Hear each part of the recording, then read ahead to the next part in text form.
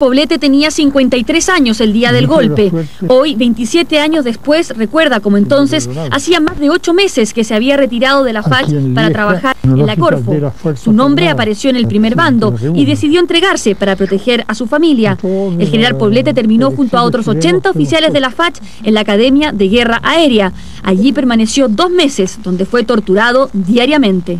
Sufrí golpes.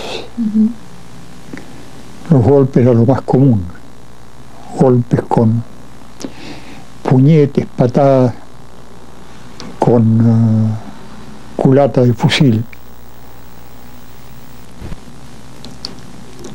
Estar durante horas de pie, sin poder apoyarse.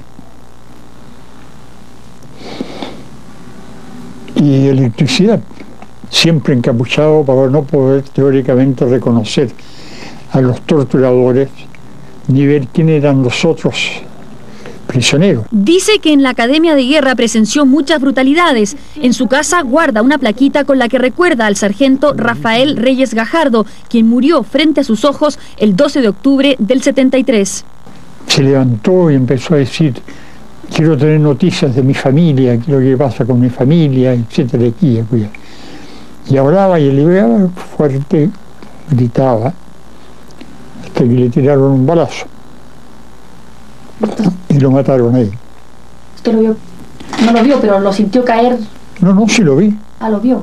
Lo vi porque estábamos tomando el café sea, no tenían puesta la... Entonces teníamos la capucha puesta hacia atrás. Poblete pudo identificar a 19 de sus torturadores, una larga lista de comandantes y coroneles entre los que él destaca al oficial a cargo de la Academia de Guerra, el fiscal general Orlando Gutiérrez Bravo, y a otros que le llamaron la atención por su ensañamiento, como los comandantes Edgardo Ceballos Jones y Ramón Cáceres, y el coronel Horacio Otaiza.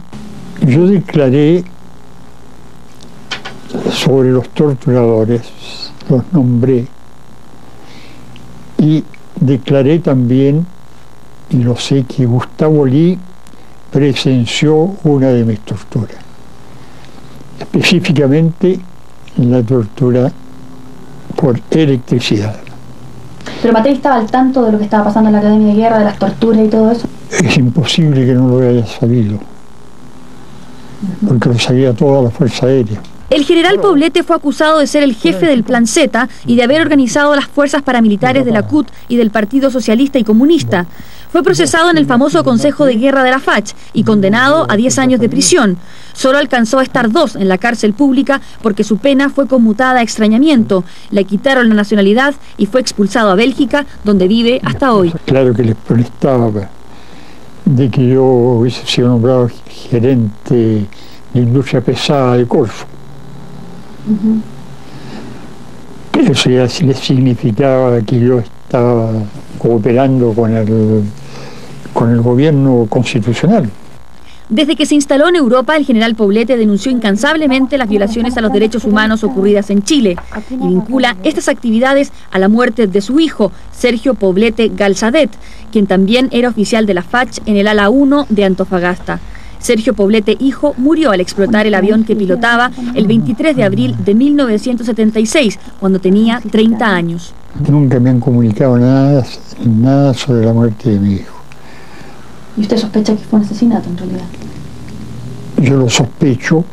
La señora Allende me lo escribió en una carta que está por ahí. Y compañeros de la resistencia también me me informaron de que la muerte de mi hijo había sido provocada. Por el cariño profundo que sentía por la FACH, el general Poblete no puede olvidar la sensación de traición que sintió y siente desde 1973.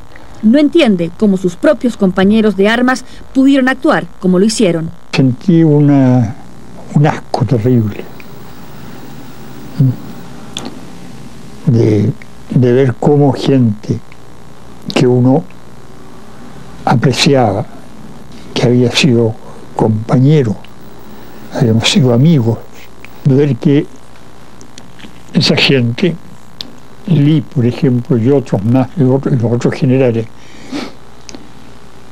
fallaron a su juramento.